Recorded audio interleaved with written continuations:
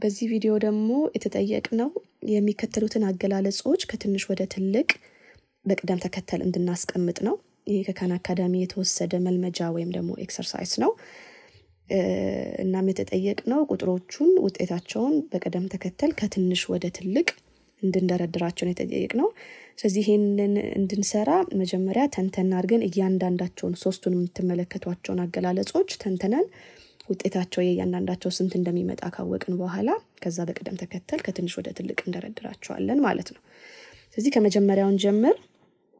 እሱም ሁለት ርቢ ሶስት ሲቀነስ ሁለት ርቢ አንድ። ይሄም ማለት ይሄኛው አገላለጽ ወይም expression ማለት ነው።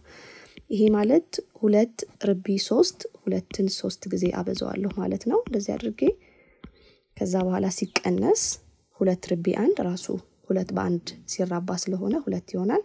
ስለዚህ ይሄ ማለት ሁለት ጊዜ ሁለት አራት፣ አራት ጊዜ ሁለት ደግሞ ስምንት ነው። ሲቀነስ ሁለት ስድስት ይሰጠኛል ማለት ነው።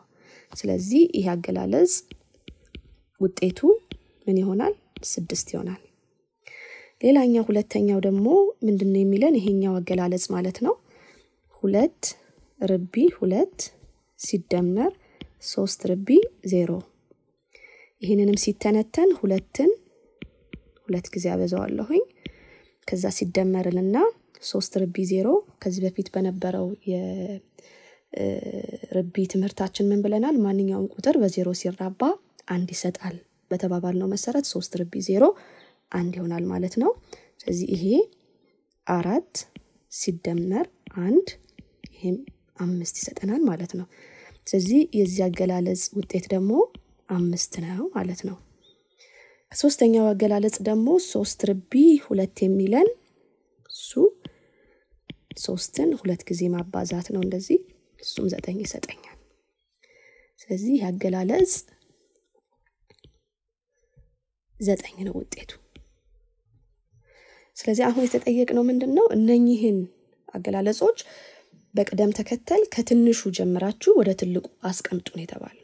ስለዚህ አሁን በዚህ መሰረት በጣም ትንሹ ከሶስቱም ስናወዳድር የሚሆነው ማን ነው የሚሆነው? አምስት ነው። ስድስት አምስትና ዘጠኝ ነው ውጤቱ የመጣልኝ። ስለዚህ መጀመሪያ የምጽፈው የሚሆነው ትንሹ ይሄኛው ይሆናል።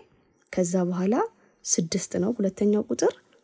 ከዛ ትልቁ ቁጥር የመጨረሻው ዘጠኝ ነው። ስለዚህ ይህን ሶስተኛ ጽፈዋለሁኝ ማለት ነው። ስለዚህ አሁን ይህን የምናደርጋለን አገላለጻችንን በቅደም ተከተል ከትንሽ ወደ ትልቅ ለማስቀመጥ የመጀመሪያው አገላለጻችን ሁለት ርቢ ሁለት ሁለት ርቢ ሁለት ሲደመር ሶስት ርቢ ዜሮ ትንሹ እሱ ነው የመጀመሪያው። ከዛ በኋላ ደግሞ ሁለት ርቢ ሶስት ሁለት ርቢ ሶስት ሲቀነስ ሁለት ርቢ አንድ ነው። እሱን በሁለተኛ ደረጃ እንጽፋለን። ከዛ ደግሞ የመጨረሻውና ትልቁ ሶስት ርቢ ሁለት ነው። ስለዚህ ሶስተኛው እሱ ይሆናል። ስለዚህ በቅደም ተከተል ከትንሽ ወደ ትልቅ ስናስቀምጣቸው የመጀመሪያ ላይ ያየናቸው አገላለጾች ይሄንን ቅደም ተከተል ይይዛሉ ማለት ነው።